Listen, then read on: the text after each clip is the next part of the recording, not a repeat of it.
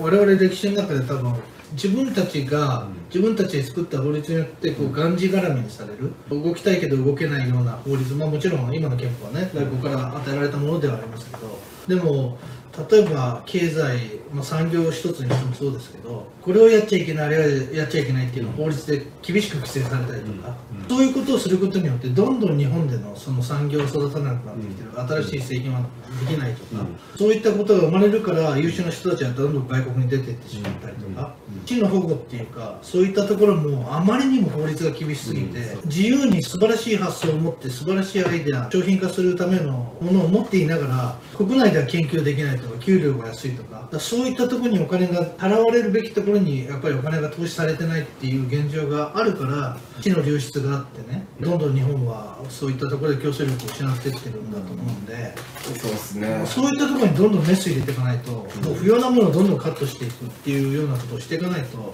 ぱり日本はもうね先進国じゃないですよね今後はね。すげえあのマイナスになってるのがやっぱ日本学術会議、うんあのもうクソみたいなね、うん。ところだけど。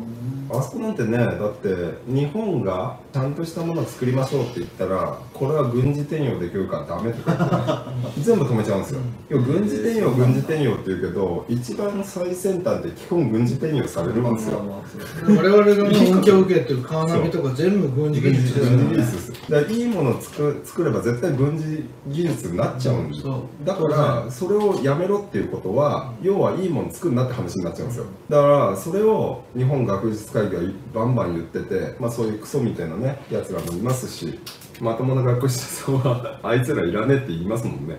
本当にね。まああんま言っちゃいけねえか。そのうちハリセン飛んでくるかも。